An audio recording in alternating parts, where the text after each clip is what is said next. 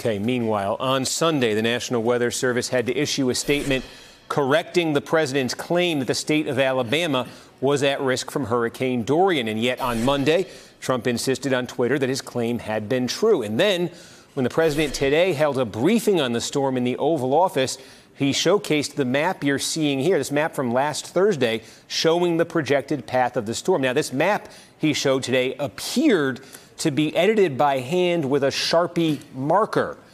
It shows that someone seems to have extended the region impacted by Dorian West, at least potentially impacted, to include Alabama. We don't know exactly what happened here, who drew that line, exactly what's going on. But here is what the president said when asked about the altered map later today.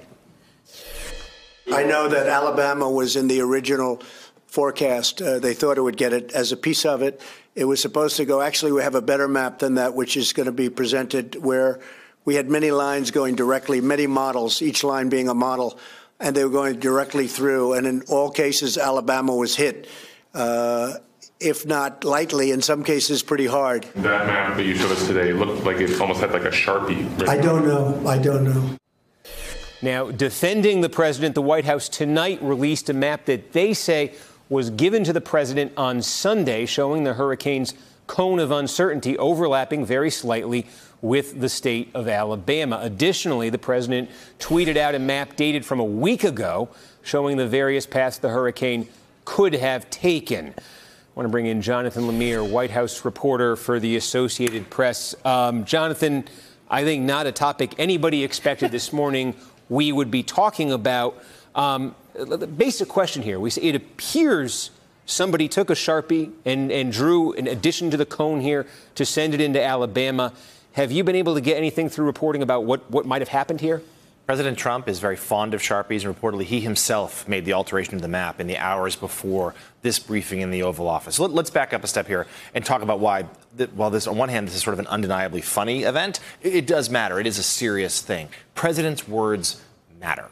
You know, what the president says or tweets can move markets, can rattle global capitals, and can really frighten the residents of a state who they believe, who might then believe they're in the path of a dangerous hurricane. And in this case, this hurricane was never any really threat to Alabama. Certainly not after, you know, a day or two of uncertainty from the National Weather Service. So what, what happened is, as you just walked through the chronology, the president tweeted out that Alabama was in the path. The National Weather Service had to release a rather unprecedented statement correcting the president, saying that Alabama was not in any danger. And then we've seen the president double and now triple down. So in the Oval Office today, he showed reporters that map, which was with the Sharpie alteration, suggesting that Alabama had been at risk, defending his original tweet. Uh, this is time and time again, we see this from the president, that he's refusing to acknowledge any mistake. He, even a, even a, a relatively minor one uh, you know, certainly he could just say, well, I was going off of bad information or old, outdated information. Well, could have even said, look, maybe there was a misunderstanding here. It looked like the storm, as I was understanding it, might brush Alabama, sure. might come close. I think that's a, a reasonable thing in any situation. No question. Not to end up here, though. No, and any president, of course, is supposed to be, especially post Katrina, is very mindful of the response to a hurricane.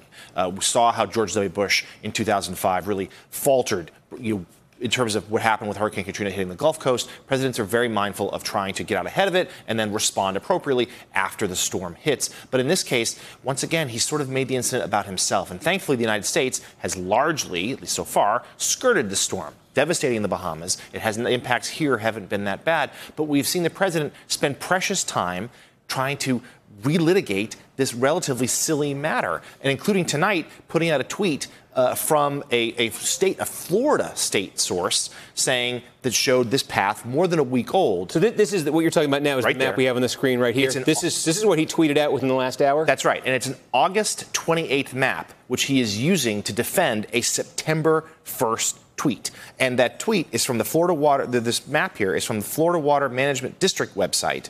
And it says on there that information from the National Hurricane Center supersedes anything you see on this map. And as the fine print also reads, uh, it says, if anything on this graphic causes confusion, ignore the entire product. And I think it's safe to say we've had nothing but confusion about the president handling the storm. Let me, let me just ask you, folks in the White House, folks around this administration, do they have any reaction to something like this? The people we've talked to tonight, uh, not much yet in terms of sort of a sense of a shrug and, well, there, he goes again, in terms of the president being very defensive, not acknowledging, uh, being able to acknowledge any sort of mistake, being very thin skinned about media criticism. And certainly that's how this was brought to light, his initial mistake, because there was a report suggesting that, you know, pointing out that his mistake, that Alabama was never under any real threat. Uh, but it, uh, to a broader point, and why this does matter, in addition, not only do a president's words carry weight, but it shows you there's no one in the White House who can get, a, get in the way of something like this and say, sir, this might be a bad idea. Like, this isn't worth your time and energy to, to double and then triple down on what was a, probably an innocent mistake, a bad piece of information or an outdated piece of information.